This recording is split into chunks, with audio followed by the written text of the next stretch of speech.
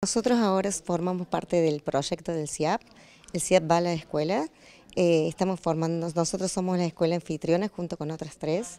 Eh, hoy vamos a realizar eh, la inseminación en un maniquí de una cerda, vamos a ver la calidad seminal y vamos a ver los tipos de pajuelas que podemos encontrar. ¿Y cómo se inició esta articulación con la universidad de este proyecto? Bueno, nosotros, yo empecé a dar clases en el 2022 en producción porcina del Colegio de las Higueras y 186.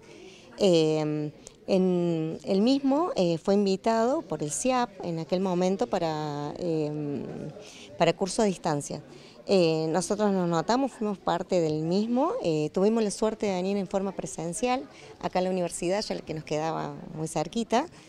Y eh, después, a fin de año más o menos, empezó, eh, se empezó a gestar el, proyecto, el cual fuimos invitados. Y bueno, eh, a partir de ahí tuvimos reuniones, planificación, organización, junto con los chicos del CIAP.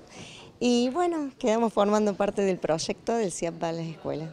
¿Y chicos de qué años del secundario participan? Sí, nosotros, yo estoy dando producción porcina, que es la producción animal 2, en quinto año. El colegio IPEATIN cuenta con, con dos especialidades y un ciclo orientado y una de las especialidades es la agropecuaria. ¿Y cuál es la recepción de los chicos en este tipo de actividades que tienen que venir a la universidad?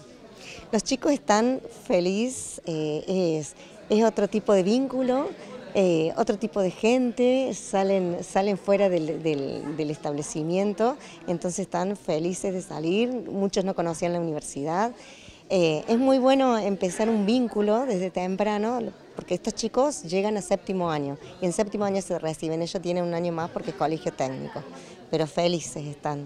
Nosotros venimos participando como escuela hace bastantes años eh, y bueno, el vínculo con la universidad es importante, obviamente lo, venimos manteniendo y el CIAB específicamente venimos de, varios años, de 2019, antes de la pandemia, eh, participando activamente.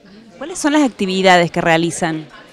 Bueno, eh, nosotros participamos, esta, particularmente esta jornada es el primer año, la jornada de extensión, eh, pero después en los años anteriores venimos participando, eh, viniendo acá a la universidad, con la gente del CIAP, que en general es a distancia, pero nosotros al tener la escuela cerca participamos activamente acá en forma presencial. Recuérdenos de qué escuelas son. De la Escuela de Agronomía de Río Cuarto. ¿Y chicos de qué años participan?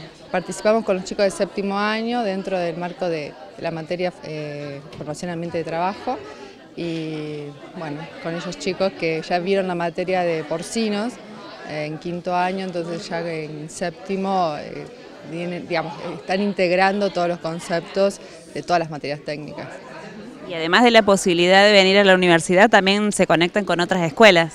Sí, eso también es, interesante, que, tenga la vinculación con otras, escuelas eh, agrotécnicas eh, y también el vínculo con la universidad y, el, hecho de que el otro año eh, muchos de ellos van a venir a estudiar acá y que ya conozcan las instalaciones, que puedan ver el manejo, es interesante también.